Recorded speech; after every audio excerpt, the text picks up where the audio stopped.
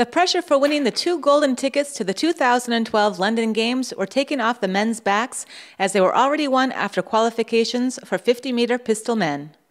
Japan's world champion Tomoyuki Matsuda has done it again. The shooter of the year entered into the final tied in first place with a total of 568 points and fought it out for the gold against Serbia's one time World Cup bronze medalist Andrija Zlatic throughout the final, with mere tenths separating the two. After the fifth shot, Matsuda had a 7 10th lead over Zlatic. After a 9.1 on the sixth, the one time World Cup final silver medalist was up only by one point. An 8.9 on Matsuda's seventh was just what Zlatic needed to jump up to first. Zlatic holding on to first through the eighth shot. Matsuda, who has already won two World Cup gold medals for the 2011 season, demonstrated once again that he can't be overtaken.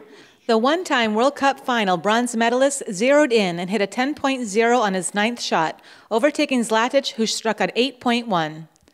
And a 10.2 on his 10th was enough to secure him the third World Cup gold medal this year.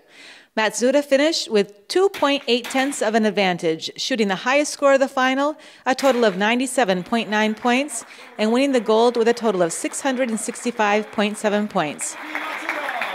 Zlatic finished with his first World Cup silver medal with a total of 662.9 points.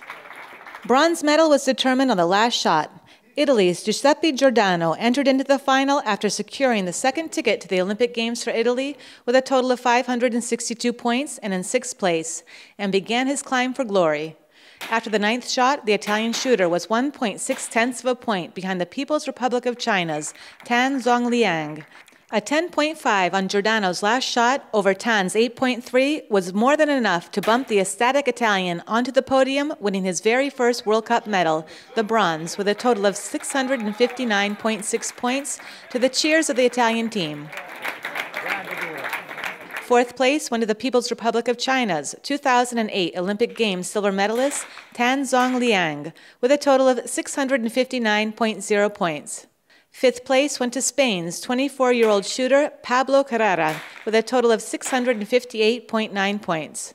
Sixth place went to Slovakia's 2009 World Cup final bronze medalist Pavol Kopp with a total of 657.7 points. Seventh place went to the People's Republic of China's one time World Cup gold medalist Zhang Tian with a total of 654.8 points and eighth place went to Germany's one time World Cup bronze medalist Florian Schmidt with a total of 648.0 points. The last 2012 Olympic Games quota place was won by Belarus's Andrei Kazak after qualifications, as the other countries had already won one.